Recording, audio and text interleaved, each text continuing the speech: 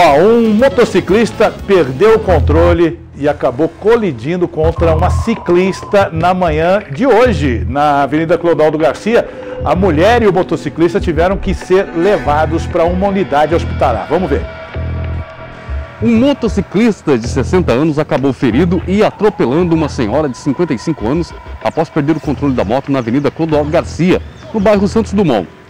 O homem que pilotava a moto acabou perdendo o controle, indo para o lado direito da via, atropelando a ciclista e sofrendo uma queda. A ciclista foi arremessada contra o solo, sofrendo escoriações e uma leve contusão na coluna.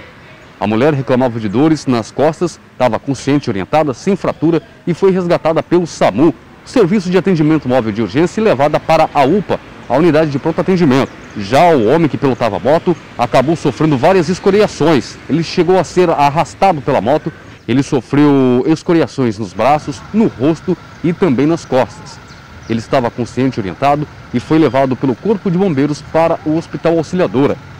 A Polícia Militar foi chamada e fez o boletim de ocorrência. O caso será investigado pela terceira Delegacia de Polícia Civil.